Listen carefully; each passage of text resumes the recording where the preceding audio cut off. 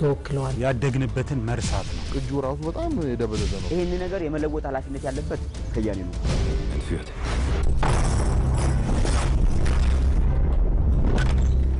በውጭ ሀገራት ባሉ የመዝናኛ ኢንዱስትሪዎች በተለይም በሆሊውድ በሚሰሩ ፊልሞች ላይ ጥቁሮች የሚሳሉበት ወይም የሚወከሉበት መንገድ ለዘመናት ሲተች ኖሯል። ይህም ጥቁሮች ስራ የማይወዱ የማያስተውሉና ራሳቸውን የማይቆጣጠሩ ተደርገው በፊልሞች ሲወከሉ መታየቱ ነው። ለዚህም እንደ ማሳያነት ጥቁር አሜሪካዊው ሳሙኤል ኤል ጃክሰን ጥቁሮች ስላለባቸው ተጽዕኖና ስለሚሰጠው ገጸ ባህሪ ብዙ ጊዜ ሲከራከር የሚስተዋለው ወደ ሀገራችን ስንመጣም ፊልሞቻችን ከቀን ወደ ቀን በቁጥር እየጨመሩና ወጣቱን ማዕከል ያደረጉ በመሆን ላይ ናቸው። ለመሆኑ በፊልሞቻችን ላይ የወጣቱ ውክልና ምን ይመስላል? በምን መልኩስ እየተሳሉ ነው የሚለው የዝግጅታችን ዋና ዓላማ ይሆናል። ፍቅር ለምን እኔና ያንተ ፍቅር አልቋል። በእኛ ፈንድቅ በጣም ናፍቀኛል።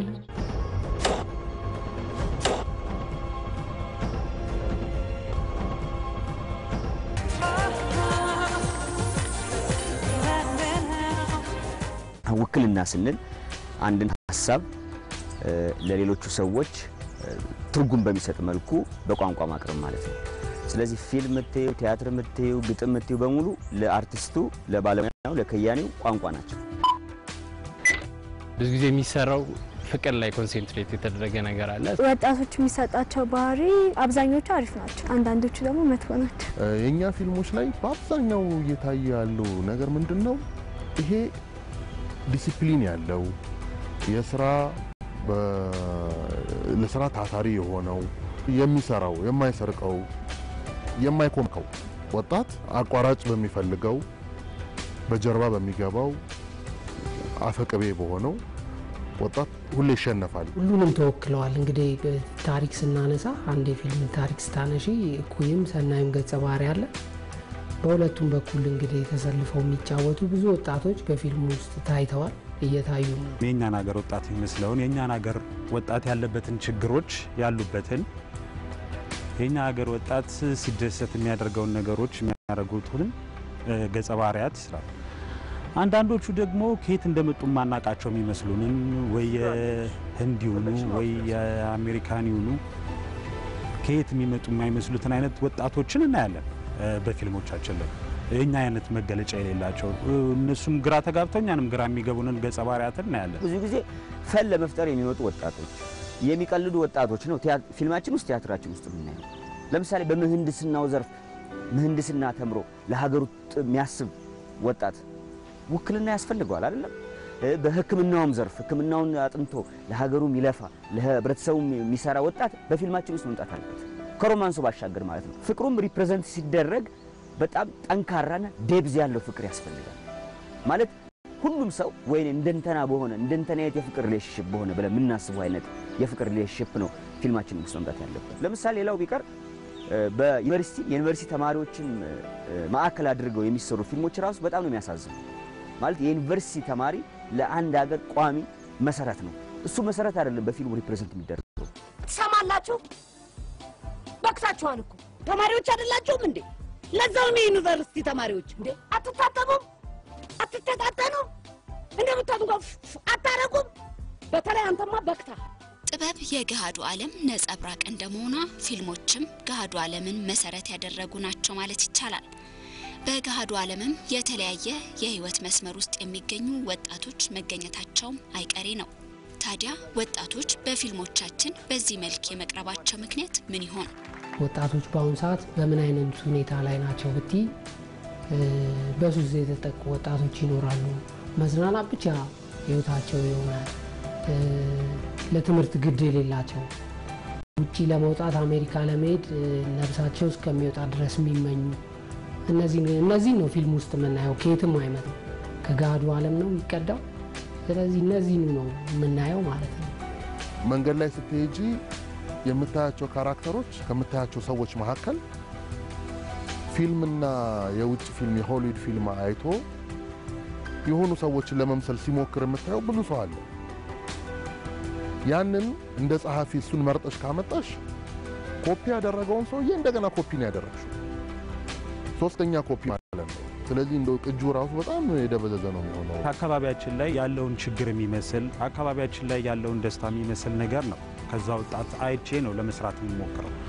ያኛው መንገድ ግን ትክክል አይደለም ብዬ አስባለሁ። ከሌላ ቦታ የምንወስደው የማናቀው ነው፣ አብሮን ያልኖረ ነው የሚሆነው።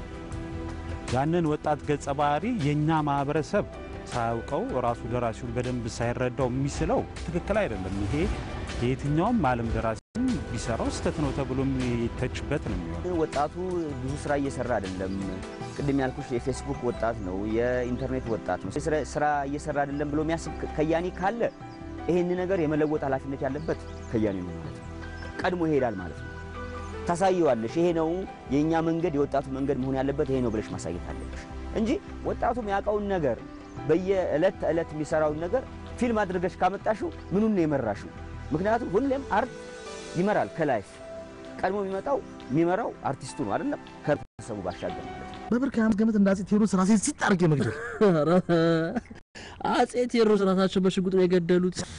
እባክህ ሰው ባለው ነው ምንድን ነው ኧረ ስራ ጠፋ ስራ ያለ ብዙዎቹ ታሪኮች የሚሄዱት በወጣቶች ነው። ምክንያቱም አሁን ወጣቶች ናቸው ፊልሙን የሚያዩት ተብሎ ስለሚታሰብ ብዙ ጊዜ ወጣቶች ናቸው፣ የወጣቶች ታሪክ ነው የሚሆነው። አሉ ፊልሞች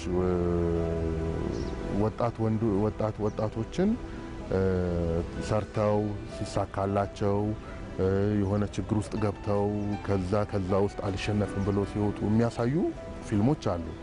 በጣም የሚገርምሽ ግን ገበያ ላይ የተሳካላቸው ፊልሞች አይደሉም። የፊልም ፕሮዲውሰሮችን ብቻ ሳይሆን ፊልም ቤቶችም የሚመርጡት የኛውን አይነት አይደለም።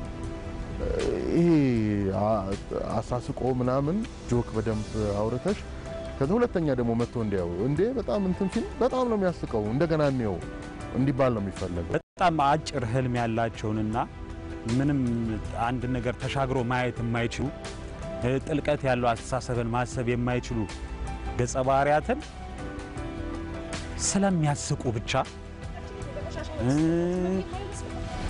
ሲታዩ ደስ ስለሚሉ ብቻ መርጦ ቁጭ ማድረግ ለየትኛውም ትውልድም ለየትኛውም ወጣትም የማይጠቅም ከመስራቱ በፊት መጀመሪያ እውቀቱ መቅደም ያለበት ራስን ማወቅ ነው።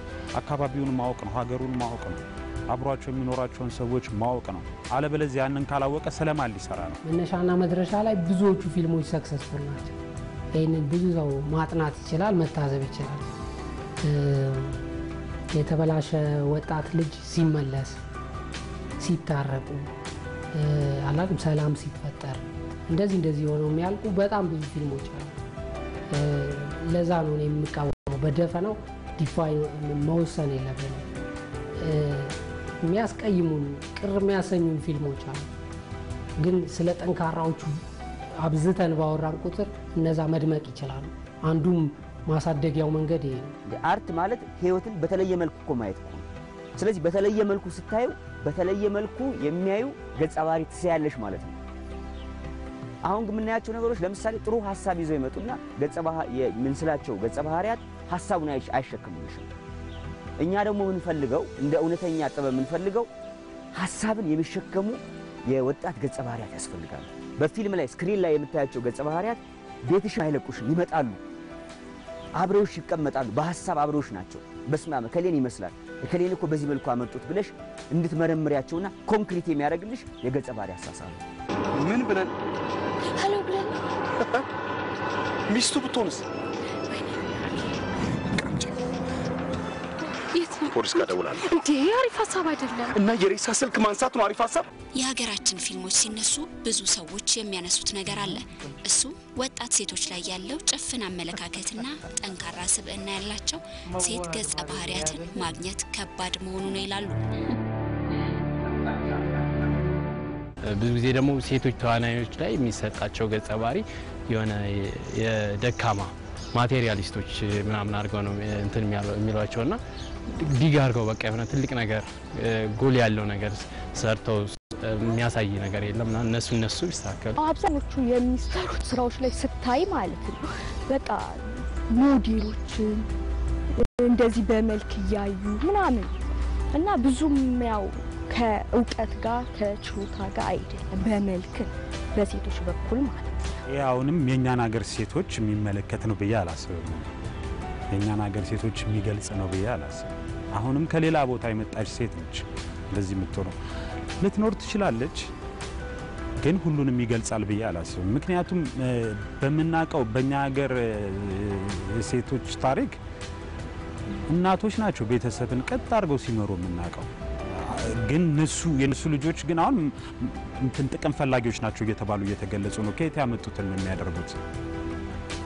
በሆነ ምክንያት ተገፋፍተው እዛ ውስጥ የገባች ሴት ካለች ጥቂቶች ሊሆኑ ይችላሉ። ሁሉንም የሚገልጽ ተደርጎ ግን ፊልሞቻችን ላይ የሚመጡት ሴቶች በሙሉ ግን ጥቅም ወዳድ ሆኖ መታየት በጣም ትልቅ ስህተት ነው። ያደግንበትን መርሳት ነው። ቤት ያሉትን እህቶቻችንን እናቶቻችንን መርሳት ይመስለኛል ስለዚህ የሌላ ሰውን ታሪክ እየሰራን ያለ ነው። አንዳንድ የሴቶች አሳሳል ጥሩ አይደለም። ታቸው ነው ለሚያዩት ለጀማሪዎቹ፣ ለህፃናት ጥሩ ያልሆኑ የሴት ገጸ ባህሪ አሳሳል ሊኖር ይችላል። አሁንም ግን መሰመር ያለበት ነገር ለምን ያ ተባለ? ለምን በዛ መልክ ሴቷ ተቀረጸች? ማን ነው ደራሲውስ? ደራሲዋስ ማን ናት? ሴት ነች? ወንድ ነው? የእሱስ background ምንድን ነው? አሁን ያለው እውነት ምንድን ነው የሚለውም ማንሳት ያስፈልጋል። ሴቶች ከልብሳቸው ከሊፕስቲካቸው ምናምን ውጭ በላይ የማያስቡ አድርጎ በብዛት መሳል እያልኩሽ ያለሁት እንደዚህ አይነት ሴቶች የሉም አይደለም። powerful ሴቶች አሉ፣ ፊልም ሊሆኑ የሚችሉ ሴቶች አሉ። እምቢ ያሉ ሴቶች እንደ ኬ እነዚህ እነዚህ አይነት ሴቶች አሉ። ሴትነት በእኛ ሀገር እኮ መምራት ቤተሰብ የምትመራው እኛ ሀገር እኮ ሴቶች እኮ ናቸው አይደለም። የቤተሰብ ትልቅ ኃላፊነት ያለባት ሴት ናት። ትዳርን ስታስቢ መጀመሪያ የምትመጣልሽ ሴት ናት። ሴቶቹ ለትዳር ያላቸው outlook ምንድን ነው ብለሽ ስታስቢ የሚመጡበት መንገድ ወደ ፊልሙም ወደ ቲያትሩ የሚመጡበት መንገድ በጣም narrow ነው። በጣም በጣም stereotype በቃ ከ sex object ውጪ አይታሰቡም ይሄ በእውነት ወንጀል ነው። በየትኛውም ፊልም በየትኛውም ዲሲፕሊን በጣም መሪ የሆኑ ወጣት ሴት ኢትዮጵያውያን አሉ። እነሱ ነው represent የሚደረጉ አይደለም። ምን ያስገለፍጥሻል? idiot የያዝነው መሳሪያ ፊልም የሚባለው መሳሪያ ምን ያህል powerful እንደሆነ ያወቅን አልመሰለኝ እና በአብዛኛው እንትኑ ላይ ነው የምናተኩረው እና ማሳቁ ላይ ማዝናናቱ ላይ እናተኩርና ያንን ትልቁን መልእክት እንረሳዋለን። ፊልም ታሪኮቻችን ላይ ያሉት ወጣቶች ብዙዎቹ ግለኝነት ይታይባቸዋል። ለእኔ የሚል አይነት ስሜት ይታይባቸዋል። ግን ደግሞ እንደ ፊልም ስራዎቻችን ስናይ እነዚህ ግለኝነት የሚታይባቸውን ወጣቶች የተሻለ ሰፊ ዓላማ ያላቸው እንዲሆኑ አድርጎ ማቅረብም ይቻላል። ያው ከደራሲ የሚጠበቀው ማለት ነው ሰፊ ህልም እንዲኖራቸው ማድረግ ድህነትን ማሸነፍ ሲሆን አብሮ ከሰፊው ህዝብ ጋር አብሮ ማሸነፍን የሚያልሙ አድርጎ ማቅረብ ነው የሚጠበቀው። በፊልም ውስጥ ቅብብል ካለ ፊልም ራሱ ባህል አይደለም። የባህል ቅብብሎሹ ካለ፣ የፋሽን ቅብብል ካለ፣ የአነጋገር style ቅብብል ካለ እነዛ ነገሮች በጥንቃቄ መታየት አለባቸው። ትልቁ ችግር ያለው ይመስል ያለማወቅ ችግር ይመስለኛል፣ ያለማጥናት ችግር ይመስለኛል። እንደው አሁን በጣም ከባዱ ነገር በ art work ውስጥ ትልቁ ከባዱ ነገር ጥናትና ጥናትና ምርምር ያልተደገፈ ስራ እንትን ነው የሚሆነው፣ በጣም ደካማ ነው የሚሆነው። ስለዚህ ወጣቱ ማወቅ ያስፈልጋል። ወጣቱ የሚፈልገውን ነገር ማሰብ ያስፈልጋል። ዓለም የደረሰበትን ሁኔታ ማሰብ ያስፈልጋል። ዓለም ውስጥ ያሉ ወጣቶች የሚሰሩትን ስራ ማወቅ ያስፈልጋል። የ art ስራ ከምናቡ ባሻገር ትልቅ scientific የሆነ research እሱ scientific research በየጊዜው update በተደረገ ቁጥር ወጣቱን የበለጠ represent እናደርገው የበለጠ እናስተምረዋለን። በእናት baby ከዛ አካባቢ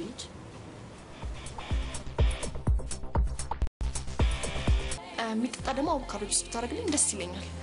ይቅርታ ከምግብ በኋላ ice cream ታመጣልኝ። መጀመሪያ የማየው ታሪኩን ነው። ምን ለማውራት ፈለገ ነው የመጀመሪያ ምርጫ። መጀመሪያው የምርጫ መስፈርቴ እሱ ነው።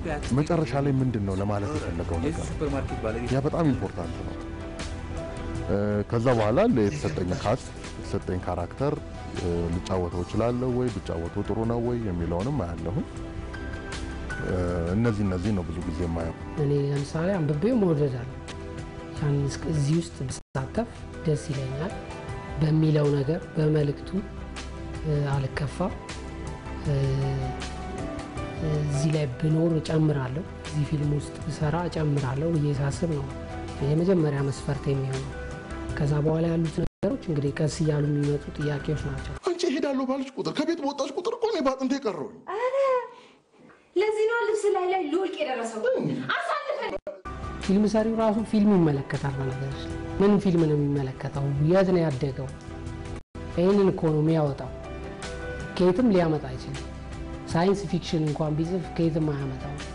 ከነበሩት ካጠራቀማቸው የህይወት ልምዶች ነው።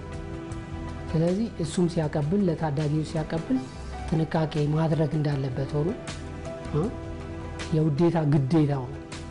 አሁን ነገሩ ምንድን ነው? እንደ ግዴታ እንደ መስት ሲቀመጥ ነገሩ የሚበላሸው ገጸ ባህሪያትን በውበትና በተክለሰውነት ባለባበስ አሳምሮ እነሱን ለሚያዩ ሌሎች ከነሱ ላነሱ ወጣቶች የሚፈጥረው ተጽዕኖ አሉታዊ ነው የሚሆነው። ምክንያቱም ከነዛ ሰዎች ከመማር ይልቅ የሚመስላቸው ያ ውበት ሁሌም አብሮ የሚኖር አይነት ነገር ያንን ቁመና ለማግኘት ነው የሚመስላቸው። ምኞት ብቻ ነው የሚሆነው። ሰዎቹ ተሳስተው ሌላንም ሰው ነው የሚያሳስቱት። ከማንም በላይ ግን የማህበረሰቡን ኃላፊነት ተሸክም ያለው የሚለው ባለሙያው ይህን ነገር ሲሰራ ትውልድ እያበላሸ መሆኑን ማወቅ አለበት። Hello? This is that This is Oh, my phone number ትልልቅ ሰዎች ቲያትር ቤት፣ ፊልም ቤት እየሄዱ ያዩ ነበረ በፊት። አሁን እነሱን audience አጣን። አሁን ብዙ ወጣት ነው የሚሄደው፣ የሚሰራውም ስለ ወጣቱ ነው። ስለዚህ ከፍ ያለው maturity ከፍ ያለው ሰው ሄዶ የማየት እንትኑ እየቀነሰ ብታዩ እንደዛ ነው የሚያሳይሽ demography እያየው እያየው ራሱን የማይመስል ጥበብ ራሱን የማይገልጸው ጥበብ ይተወዋል፣ ወደ ሌሎች ፊልሞች ይሄዳል ማለት ነው። ያኔ አሁን የ globalization impact የባህልን መጥፋት ከሚዋጉልና ከሚከላከሉልን አንዱ መንገድ ጥበብ። ምክንያቱም ጥበብ የባህልሽ መገለጫ ስለሆነ፣ ስለዚህ ወደፊት ወጣቱ አያየውም፣ እሱን አይገልጸውም። ስለዚህ ወጣቱን ወደ ሌላ ባህል እንገፋዋለን ማለት እና impact ኡ በጣም ቀላል አይደለም። ከሳኔም አገባሃለሁ እላለሁ።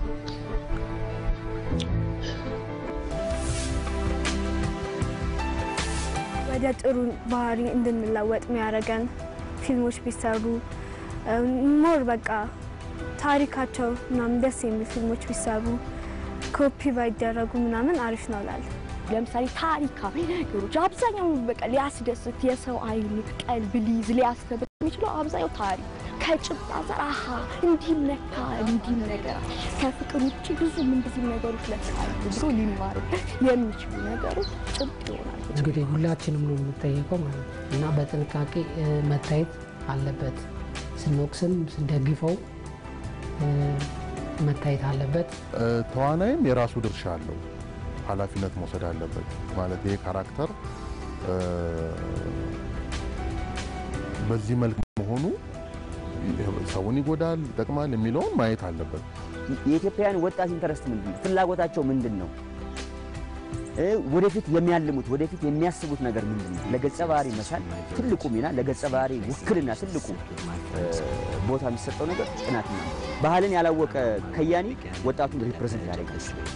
ሀገሩ ስለ ሀገሩ ታሪክ ለምሳሌ ስለ ሀገራቸው ታሪክ እንዲያውቁ ምክንያቱም አንድ ወጣት ወደፊት ለመተለም ወደ ኋላ ማየት አለበት። ኃላፊነቱ ሁሉም ሰው መውሰድ አለበት። ለምሳሌ ፊልም ሰሪው ይህንን ኃላፊነት እ፣ ጥናትና ምርምር አቅራቢ ይህንን ኃላፊነት አለ።